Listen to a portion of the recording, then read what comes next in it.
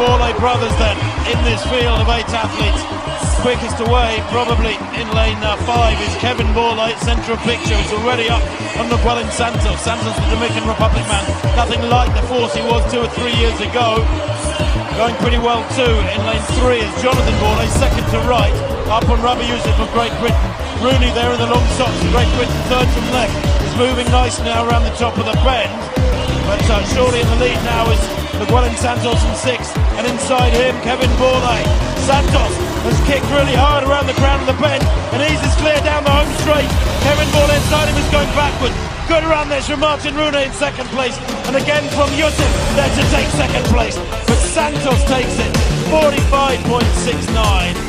And on this occasion, unfortunately, with the Brits Yousif and Rooney in second and third, the uh, family could not produce.